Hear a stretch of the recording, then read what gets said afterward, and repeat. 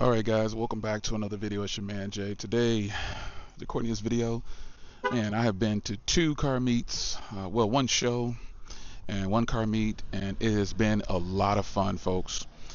And this is my video that I didn't think I would bring to you so soon, but I'm bringing it to you now. 2,500 miles. I'm exactly at like 2,499 miles. So I'm about to hit 2,500 miles and folks, I got to tell you, I didn't expect to have so much fun. I just did not. I did not expect to have so much fun with this car, and I didn't think I would drive it this much either. So, um, and there's a lot more shows that I'm attending uh, too. By the way, I've just been excited to be able to just get out and be around other car enthusiasts, not just Corvettes, but just well, a lot of the shows I go to are Corvette only, but I've been going to more shows that are not just Corvette. And it has been an experience, man. I have been loving every minute of it. And I'm excited to be able to have a vehicle that is uh, somewhat exclusive right now. Uh, I'm still in shock about that, uh, but a lot of other people are, are, more in shock than I am. And I think that's probably got to been that, that has to be that has to be one of the the best things about owning this car is how excited I am for it and how excited other people are for it. So it's just become this thing where I pull up and uh, you know they ask immediately, "Oh my gosh, is that an E-Ray?" And it just gets me pumped, man. I just get super excited about it. So I've had the top off for the last 24 hours. I just put it back on.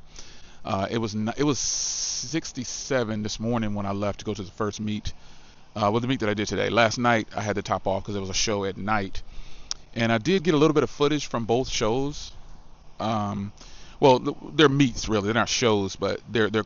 Yesterday was a Corvette meet, and today was just a regular cars and coffee.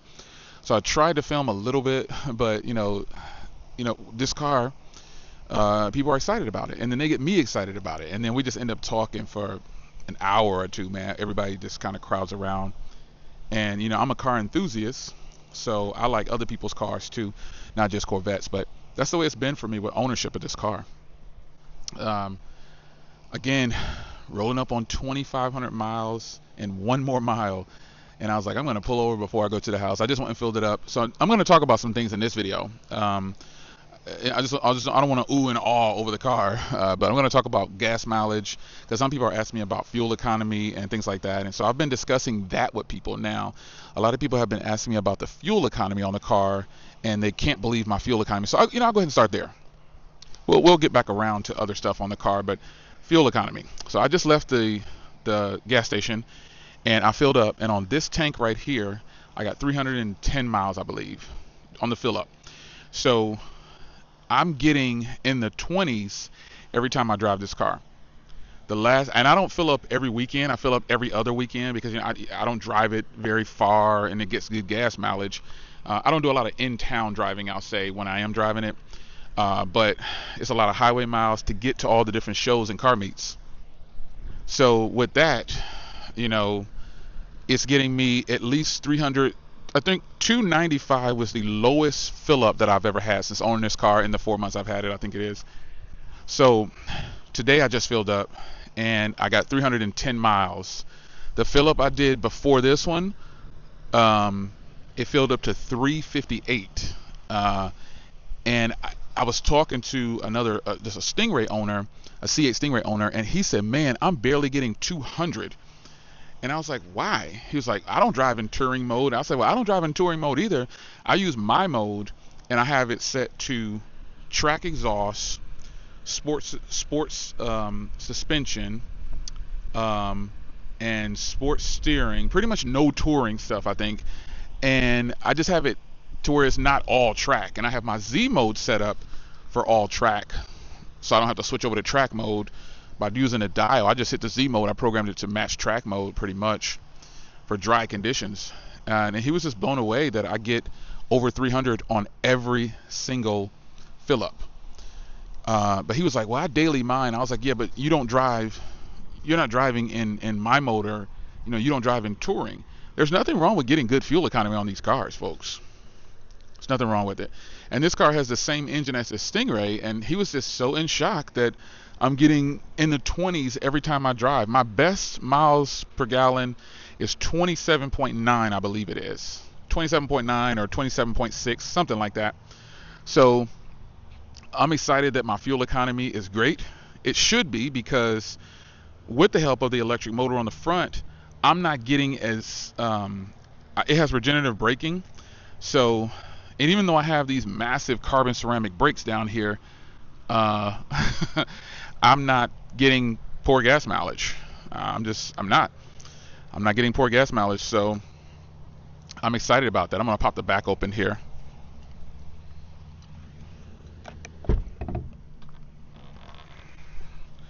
My engine bay is just like as my, last night at that car meet I was doing I was at um, it was Corvette only and I was parked next to a guy we had the same engine bay and he was like man nice Corvette and and then once he got to the side he was like wait a minute. He's like oh man this is one of those E-Rays. And I said yep yes sir it is. That's the number one question that I'm on right now and I think it's going to stay like that for some time. Um, but nonetheless we have the same engine bay we have the same plant in the back. But you know, obviously this is the wide body from the Z06, and then I have the front electric motor. So, fuel economy aside, the first question I get when I pull up to a show or a meet is, is this an E-Ray or oh my God, is this really an E-Ray? Like that's the conversation that people do. After they get past that, they start to ask me about the frunk area, and I tell them there's no motors in there. I get a frunk as well, and um, they're shocked by that. They're shocked that I, I have a frunk just like them. In my frunk right now, it's all of my gear for cleaning the car, and tripods and stuff are in there.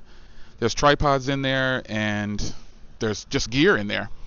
And in the back, I keep my I keep my helmet in the front seat. You've seen that a bunch of times. In the back, I have a chair and my tripod for my 360 and an umbrella.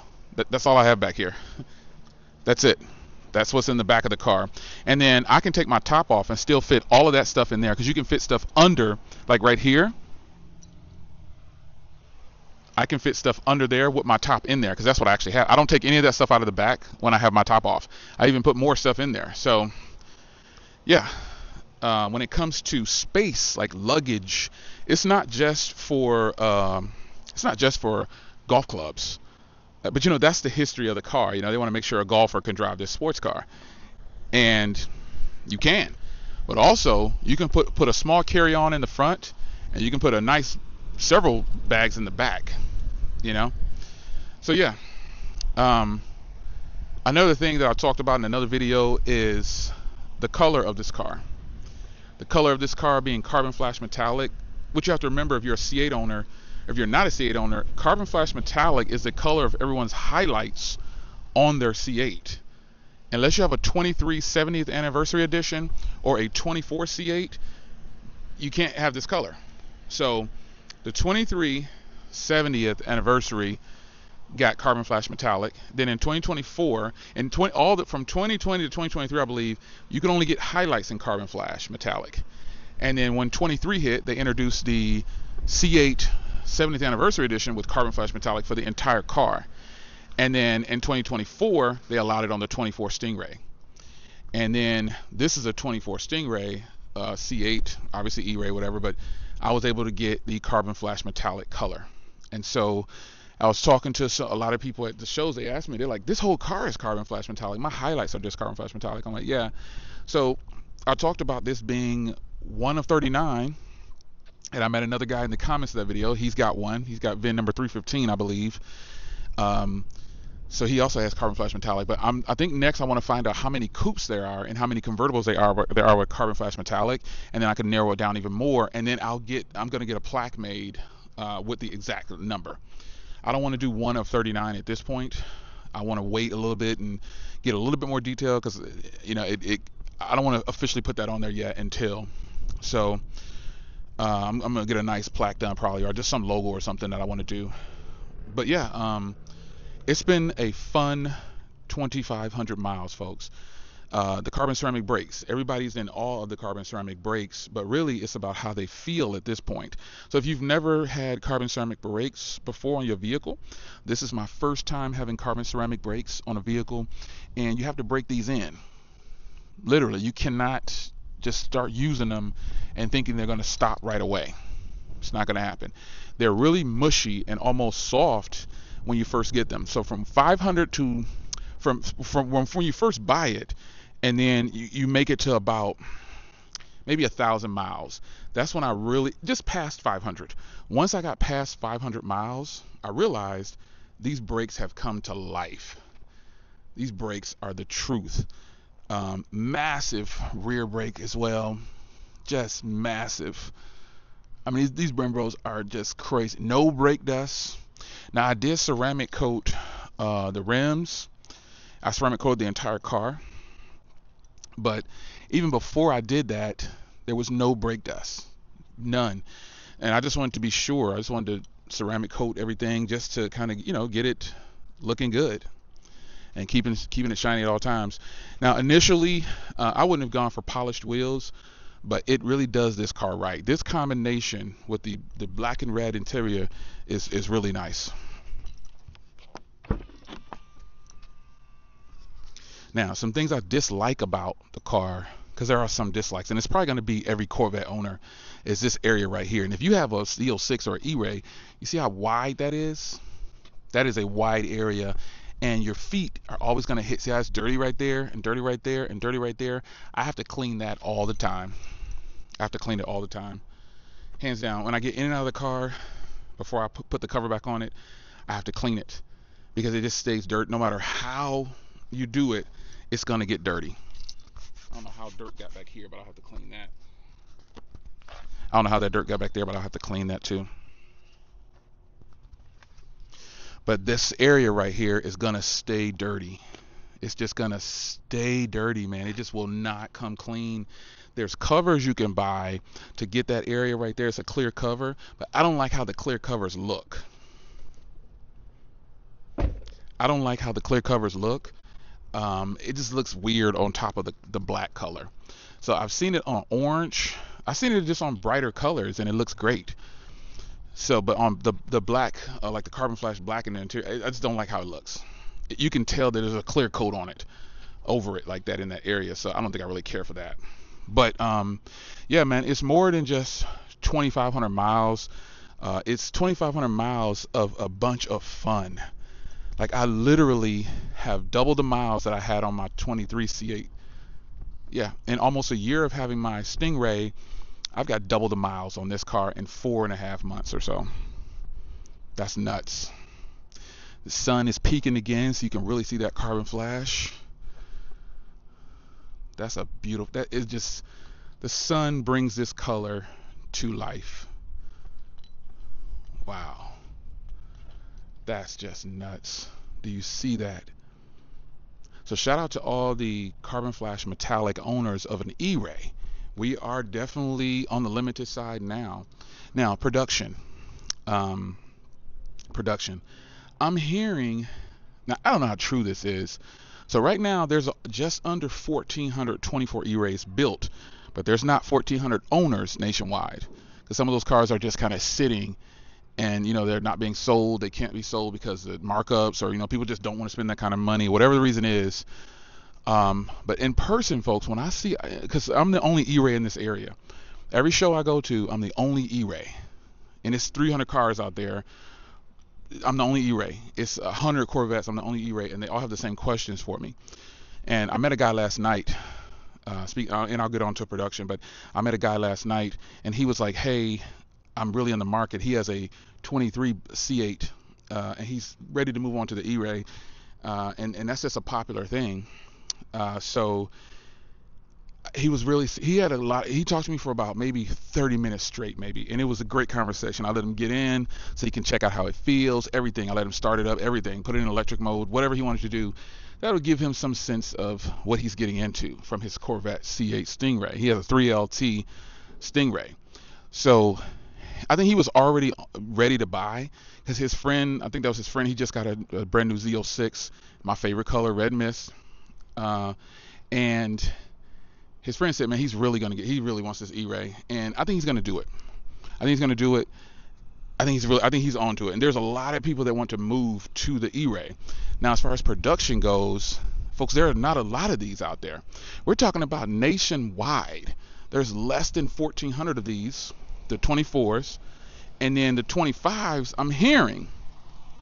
Now you can correct me if you want to, but I'm hearing that there's only going to be 800 made for 2025. Why they would do that, I don't know where anyone got that from. Why they would do that, I don't know. But I can tell you that if they do that, it's not that the E-Ray is a flop. I'm hearing people saying, "Oh, the E-Ray is not going to last. It's a joke." And I was, I said, hey, "You can say what you want to say. Um, you're entitled to your opinion." This car is definitely not a flop, and a lot of that conversation I think comes from people who just don't own the car. They they just don't know. They either want one, can't get one, or they something. I don't know. Some people take that approach, and I'm not mad at them. You're entitled to your own opinion about this car. Who cares? I, I don't work for GM. I'm just a guy who who loves Corvettes and I happen to have one of the baddest Corvettes on the planet right now.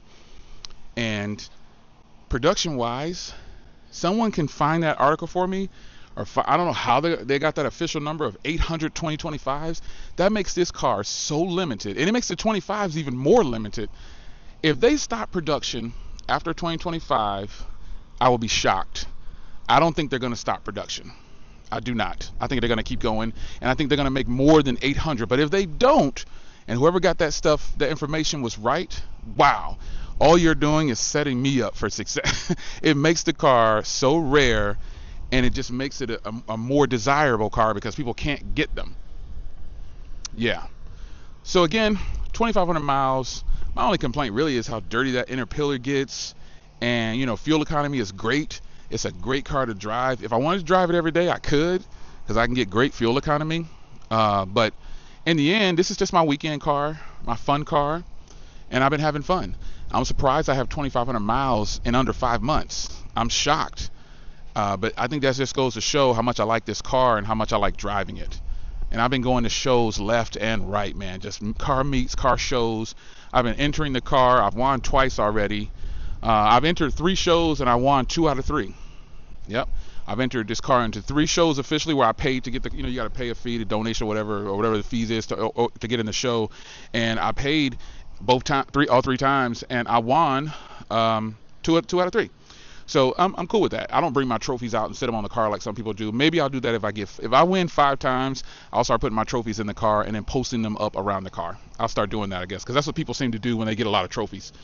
Uh, but nonetheless, I'm gonna get out of here. It's really hot but it's breezy and it feels good. And I want to go to the house, put this car in the garage, and uh, get it ready for the next couple of shows that are coming up. There's two more shows I'll be at. Uh, so yeah, I'm excited, man. Uh, 2,500 miles. I'll pass 2,500 miles before I get home, because this is about I'm about 10 miles, 15 miles from my house probably. So uh, I'm excited about it. So hope you guys enjoy the content. The E-Ray. Ask any questions you want to ask, and I'll be sure to answer them for you. Future E-Ray owners, get ready to be blown away. I'll see you in the next video. Take care.